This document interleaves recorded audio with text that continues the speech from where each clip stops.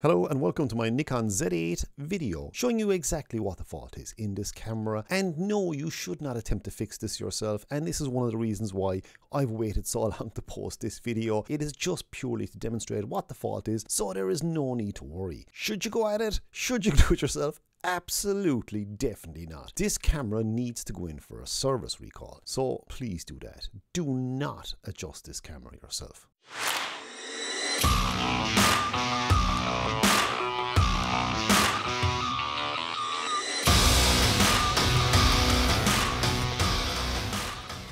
So in this video I'm going to show you exactly what's wrong with the Nikon Z8. Now the one thing I should stipulate here is I have not repaired this camera myself. I am not going to repair this camera myself and the only way you can know for absolute certainty if a camera is repaired or not is to actually perform the repair and to check it and test it out afterwards. So I am not 1000% certain this is it, but I am 99% certain it is it. Now I've got quite a few people asking me about the mechanical shutter. And oh my god, there's these two metal things hanging down from the shutter themselves. Is my camera faulty?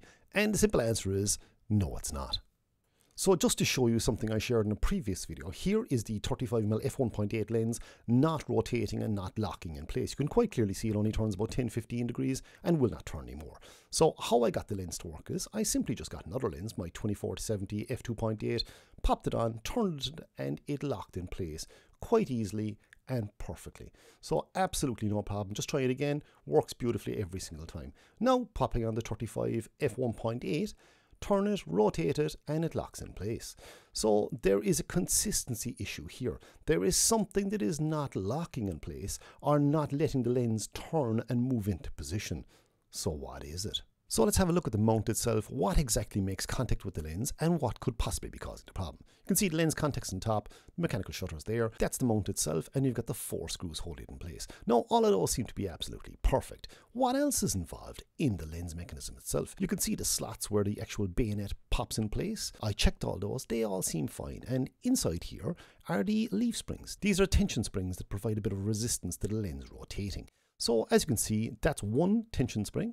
As the bayonet goes in and twists over, it hits that tension spring, and that tension spring is what's going to slow down or offer just that bit of resistance to the lens rotating. The one thing you might notice is it is at about a 10 to 15 degree angle from where the lens goes into the actual Z mount itself. Over on the second side then, we have our second spring, and that spring looks fine too as well. Absolutely nothing wrong there as far as I can see. Now, rotating around to the bottom, we have our third leaf spring. And I think this is the leaf spring that is causing the problem. You'll notice immediately if you've been watching closely on the other ones, that this leaf spring is actually dipping just down below the edge of the flange itself. Now, and this would explain exactly why this problem comes and goes at times. Because springs are variable, and when the tolerances are this close, it's going to cause problems at times. So I got an SD card here and I want to show you two things. Firstly is what we're going to do is we're going to slide the SD card in here and watch how it just fits in along that flange there now. And it is just, it is, the SD card is actually nearly the perfect size for this. So it's simulating how it would actually fit in to the actual mount itself. Now, if I just lift that up fractionally, and it is really fractionally, and just pull this over along here, now you'll see it goes away, it goes away, bang, stuck it's cut. So that is our leaf spring just sitting fractionally proud catching the edge on my 35mm f1.8. So that is what's causing the lens to jam. It is not locked in position. The leaf spring is stopping it. So that is the issue. And if you look at the edge here on the 35mm f1.8, you can see that actually is quite sharp. It's quite a clean, it's quite a neat edge.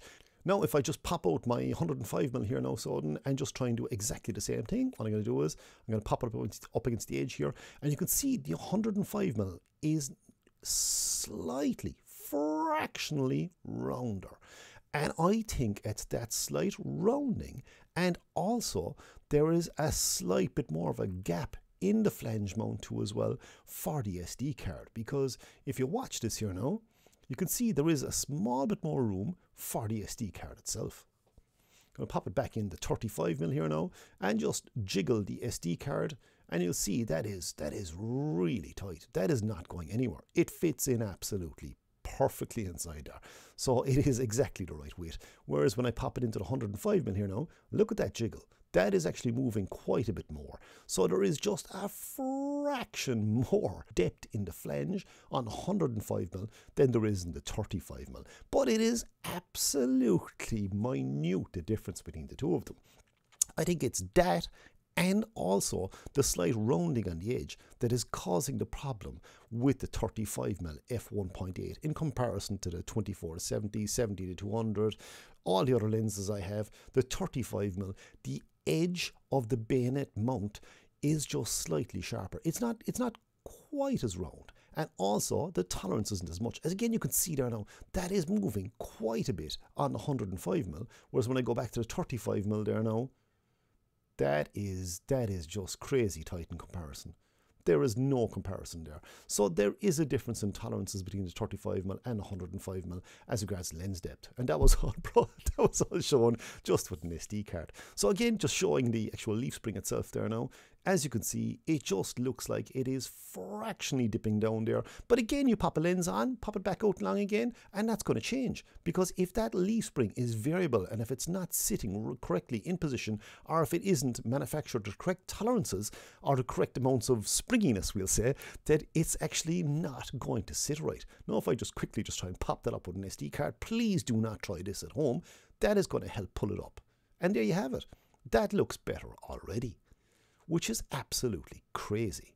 So it is a leaf spring is causing the problem, and these leaf springs are absolutely vital.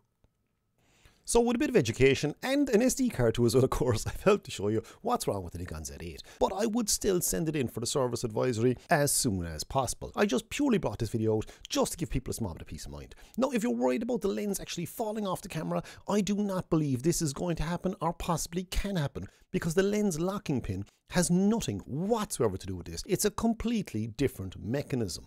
So once the lens goes on, twists, rotates and locks in place, that lens is 100% solid. It is not going to come off unless someone presses the lens release button and then pulls it out. Now, of course, the one exception to all this is a person who's completely new to mounting a lens on an SLR digital SLR camera or a mirrorless camera that might not understand how far the lens needs to rotate for it to lock on and also that you'd actually hear a physical click to as well. So that that is one thing. But if you've been putting lenses on cameras for any bit of time, I guarantee you, you will notice this difference.